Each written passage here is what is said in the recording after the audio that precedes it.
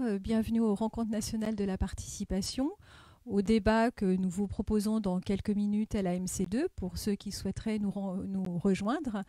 Le titre du débat est Démocratie et justice sociale au secours du climat avec un point d'interrogation. Donc nous avons beaucoup d'interrogations, euh, tout le monde a beaucoup d'interrogations sur le lien entre ces trois enjeux. Nous sommes euh, ce soir avec François Benaz. Je te remercie François de nous avoir rejoints. Et François sera avec euh, nous euh, parmi les, intervenants lors du débat. Donc François est politologue et spécialiste des questions de démocratie directe, mais aussi des questions de démocratie participative. Donc peut-être une première question. On parle aujourd'hui beaucoup de démocratie participative. Est-ce que cette démocratie participative peut accompagner la transition écologique dans laquelle on doit forcément aller? Est-ce que c'est un moyen euh, qui peut aider à accepter euh, cette transition et à quelles conditions? Alors effectivement, c'est un moyen. Euh, après, il y a plein plein de, diversité dans ce qu'on peut mettre derrière la démocratie participative. Il y a la participation très institutionnelle, le vote, etc. Et puis il y a tout ce qui est euh, les nouvelles pratiques de démocratie, euh, tirage au sort, euh, délibération.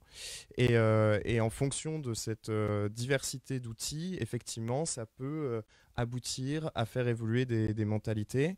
le problème, c'est de voir comment, à quel service ces outils répondent, à quels objectifs ils répondent, et, et, en fonction de ces objectifs, ils vont décliner plus ou moins d'ouverture au débat.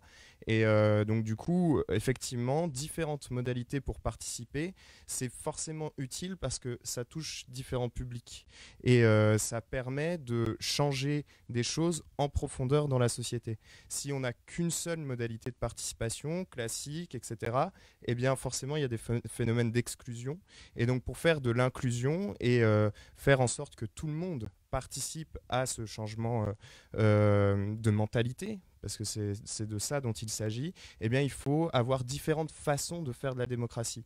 Euh, des, démocraties euh, plus douces, plus euh, consensuelles, mais aussi des démocraties plus conflictuelles.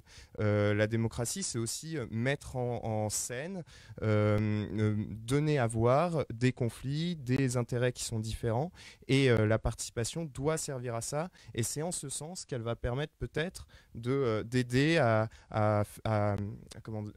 prendre conscience des enjeux euh, climatiques. Alors débattre, euh, c'est bien, mais euh, certains disent qu'aujourd'hui, il faut décider ensemble, décider peut-être autrement. On parle du référendum d'initiative citoyenne. Est-ce que ça peut être un moyen pour pouvoir donner une voix au peuple, à certains qui aujourd'hui ne l'ont pas? Alors euh, effectivement, ça peut être un moyen, mais euh, tout à l'heure, tu posais la question des, conditions, et là aussi, les conditions sont très importantes. Parce que euh, ce qui se rapproche le plus du, RIC aujourd'hui, c'est ce qu'on connaît, c'est l'initiative populaire en Suisse, et on s'aperçoit que l'institution de la démocratie directe suisse, qui est l'initiative populaire, elle ralentit la mise en œuvre des décisions. Et on a une urgence sur le côté justice sociale et sur le côté climatique. Et euh, je donne un exemple, c'est que l'initiative populaire a été mise en place en 1891 au niveau fédéral en Suisse, et il faut attendre 1991, euh, donc 100 ans plus tard, pour que l'ensemble des femmes ait le droit de vote sur l'ensemble des territoires. Donc on voit que la démocratie directe ne s'accompagne pas forcément d'une démocratisation très rapide de la société, de la démocratisation de, l'économie, du, du, monde social, de l'univers social.